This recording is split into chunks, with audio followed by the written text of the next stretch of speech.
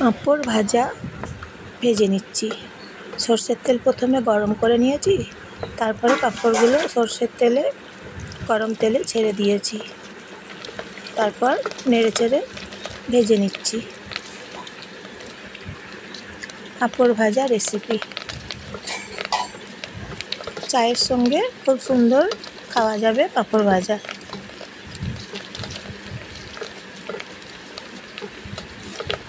আমার ভিডিও দেখার জন্য অসংখ্য ধন্যবাদ।